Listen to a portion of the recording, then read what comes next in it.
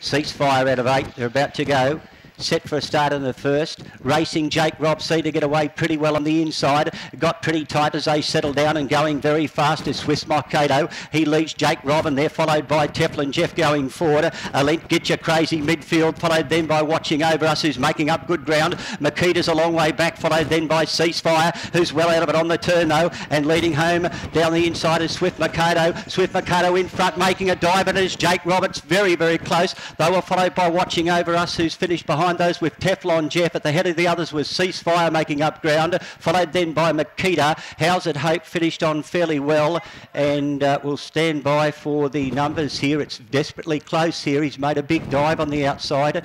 Jake Robb